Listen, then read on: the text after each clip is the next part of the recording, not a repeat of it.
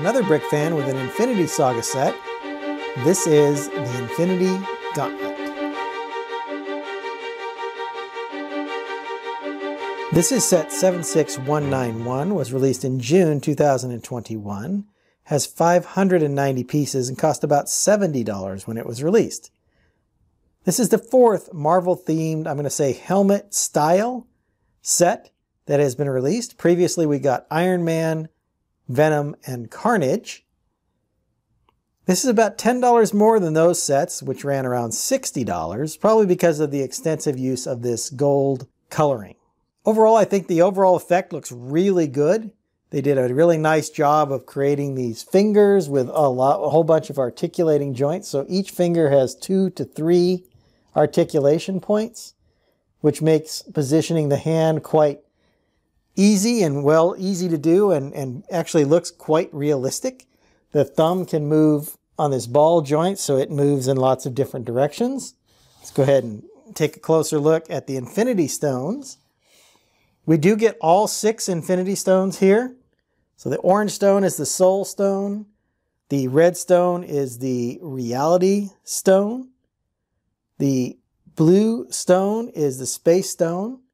The purple stone is the Power Stone. The yellow is the Mind Stone. And the green is the Time Stone on the thumb here.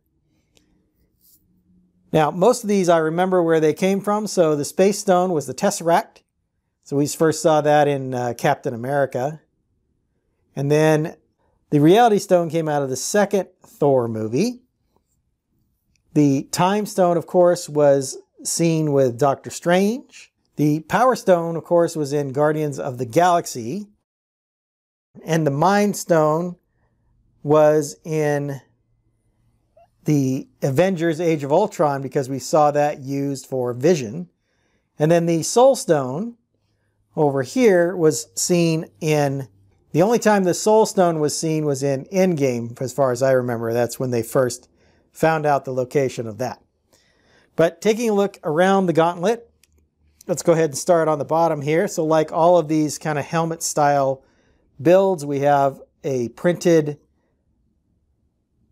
we have a printed sign, you know, identifying what the model is. Looking around the base. So this is nice because it, it does look like a glove because it kind of has this wider opening at the base. I like the way they did the shaping on this. You can see it's a combination of the metallic gold and then there's some tan pieces in here to kind of mix it up a little bit to create more of that effect. So the bottom is all nicely flared out as you can see here. Moving back up where we can see the top of the gauntlet. Again, all the stones are here. More of that bright metallic gold being used. The fingertips, fingertips actually have some of these ingot pieces on the fingertips and then the slope pieces there to get them. And like I said, a lot of these fingers have two articulation points. Three really because it comes from down here. So that, that hand can be closed up quite nicely. The thumb is on a ball joint, so it can be moved around quite a bit, although moving it too far exposes some of the internal workings or the internal structure of the gauntlet itself. Looking around here, we have this nice gold piece here for the fist, or the inside of the palm. There is a little bit of gray showing through there. Another one of these bright gold ingot pieces. So you see how the hand closes up or opens up depending on how you want to position it. And the thumb even moves as well. So lots of nice positioning capability with the Infinity Gauntlet. So for me, this is a very great display piece. Um, I like having it displayed, you know, with the fingers slightly bent. You can see all six of the Infinity Stones uh, from this angle. You get the nice printed nameplate down on the bottom. And it just makes for a really good look. And of course, when you when you match this up with the other helmet type builds that have been released over the last couple years, it makes for a really nice display of all these different uh, helmets.